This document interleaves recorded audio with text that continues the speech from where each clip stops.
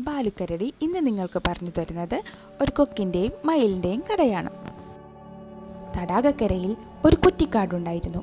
അതിൽ അതിസുന്ദരനായ ഒരു മയിൽ താമസിച്ചിരുന്നു. മയിൽ എന്നും തടാകക്കരയിൽ ചെല്ലും.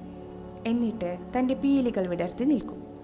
തെളിഞ്ഞ വെള്ളത്തിൽ പ്രതിഫലിച്ചു കാണുന്ന തന്റെ രൂപം നോക്കി അവൻ അഭിമാനിക്കും. എല്ലാവരും തന്റെ സൗന്ദര്യത്തെക്കുറിച്ച് ആരാധനയോടെ സംസാരിക്കണമെന്ന് മയിലിന് നിർബന്ധമുണ്ടായിരുന്നു. അതുകൊണ്ട് ആരെ കണ്ടാലും മയിൽ തന്നെ പീലി വിടർത്തി കാട്ടി താൻ അവരെക്കാൾ മികച്ചവനാണെന്ന് വരുത്തി തീർക്കും. ഒരിക്കൽ തടാകക്കരയിൽ പുതിയൊരു അതിഥി വന്നു. ഒരു വെള്ള കൊറ്റിയായിരുന്നു അത്. കൊക്കിനെ കണ്ടപ്പോൾ മയിലിന് അതിനെയും ആരാധകനാക്കി മാറ്റുവാൻ മോഹമുണ്ടായി. മീൻ പിടിക്കുകയായിരുന്ന കൊക്കിനെ മയിൽ ചെന്ന് പരിചയപ്പെട്ടു. സുഹൃത്തെ ഞാൻ മയിൽ. നമുക്ക് നല്ല സുഹൃത്തുക്കളായി ഇവിടെ കഴിയാം. ഞാൻ കൊക്ക്. താങ്കളുടെ സന്മനസ്സിന് നന്ദി. കൊക്കിന് പുതിയൊരു സുഹൃത്തിനെ കിട്ടിയതിൽ സന്തോഷമുണ്ടായി.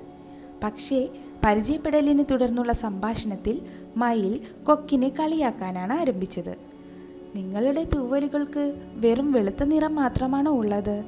എന്റെ തൂവലുകൾ പോലെ അത് തീരെ മനോഹരമല്ല കഷ്ടം തന്നെ മയിൽ പറഞ്ഞു.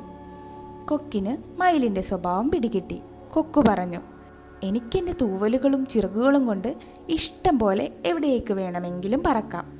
പക്ഷേ നിങ്ങൾക്കതിന് കഴിയില്ല. സ്വന്തം ചിറകുകൾ കൊണ്ട് യഥേഷ്ടം പറക്കാനാവില്ലെങ്കിൽ അതിനെത്ര സൗന്ദര്യമുണ്ടെങ്കിലും ഉപയോഗശൂന്യമാണ്. കൊക്കിന്റെ മറുപടി കേട്ട് മയിൽ ലജ്ജിച്ചു പോയി.